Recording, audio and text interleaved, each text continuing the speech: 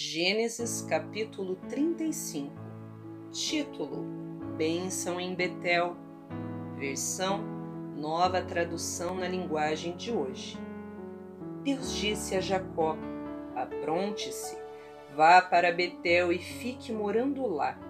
Em Betel construa um altar e dedique a mim, o Deus que lhe apareceu quando você estava fugindo do seu irmão Esaú. Então Jacó disse à sua família e a todos que estavam com ele: Joguem fora todas as imagens dos deuses estrangeiros que vocês têm. Purifiquem-se e vistam roupas limpas. Aprontem-se, que nós vamos para Betel. Ali vou fazer um altar dedicado ao Deus que me ajudou no tempo da minha aflição e que tem estado comigo em todos os lugares por onde tenho andado.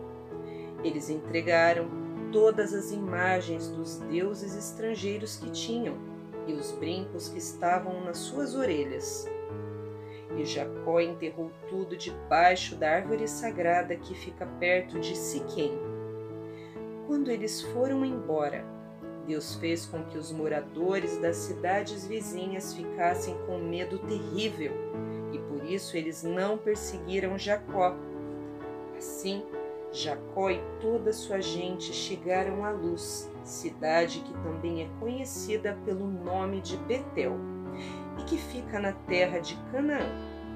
Ali construiu um altar e pôs naquele lugar o nome de o Deus de Betel, porque ali Deus havia aparecido a ele, quando estava fugindo do seu irmão. Naquele lugar morreu Débora, a mulher que havia sido babá de Rebeca. Ela foi sepultada debaixo da árvore sagrada que fica ao sul de Betel. E puseram naquele lugar o nome de árvore sagrada das lágrimas. Quando Jacó voltou da Mesopotâmia, Deus lhe apareceu outra vez e o abençoou, dizendo: Você se chama Jacó Porém, esse nome não será mais o seu. Agora o seu nome será Israel. Assim, Deus pôs o um nome nele, o nome de Israel. E disse também: Eu sou Deus Todo-Poderoso. Tenho muitos filhos e muitos descendentes. Uma nação e muitos povos sairão de você, e entre os seus descendentes haverá reis a terra que dei a Abraão e a Isaque, darei também a você, e depois a darei aos seus descendentes. Quando acabou de falar com Jacó, Deus subiu e foi embora daquele lugar. E então Jacó pegou uma pedra e a colocou como pilar no lugar onde Deus havia falado com ele. Ele a separou para Deus derramando vinho e azeite em cima, e pôs naquele lugar o nome de Betel. Subtítulo: A morte de Raquel. Jacó e a sua família saíram de Betel, e quando estavam chegando perto de Efrata, Raquel começou a sentir dores do parto.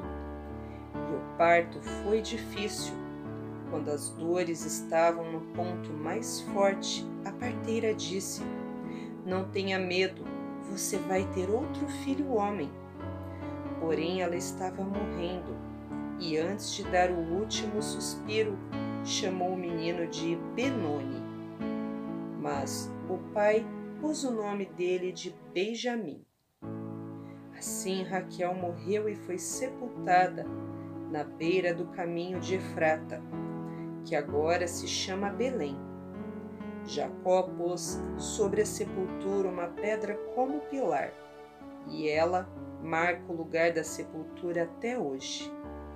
Depois, Jacó saiu dali e armou seu acampamento do outro lado da torre de Eter. Subtítulo: Os filhos de Jacó. Um dia, quando Jacó estava morando naquele lugar, seu filho Rubem teve relações com Bila, que era concubina de Jacó. Quando ele soube disso, ficou furioso. Os filhos de Jacó eram doze. Os que teve com Leia foram Rubem, o filho mais velho de Jacó, Simeão, Levi, Judá, Isacar e Zebulon. Com Raquel ele teve José e Benjamim. Com Bila, a escrava de Raquel, ele teve Dan e Naphtali. Com Zilpa, a escrava de Leia, ele teve Gade e Asser. Esses filhos de Jacó nasceram na Mesopotâmia. Subtítulo: A morte de Isaque. Jacó foi morar com Isaque, o seu pai. Em Manre, a cidade também se chama Arpa e fica perto de Hebron, onde Abraão e Isaque haviam morado. Aos 180 anos de idade, era muito velho, Isaque morreu, indo reunir-se assim com seus antepassados no mundo dos mortos. E os seus filhos, Esaú e Jacó, o sepultaram. Dicionário Bíblico da Nova Tradução da Linguagem de hoje. Benoni, em hebraico, quer dizer filho da minha tristeza. Benjamim, em hebraico, quer dizer filho que terá sucesso ou filho do sul.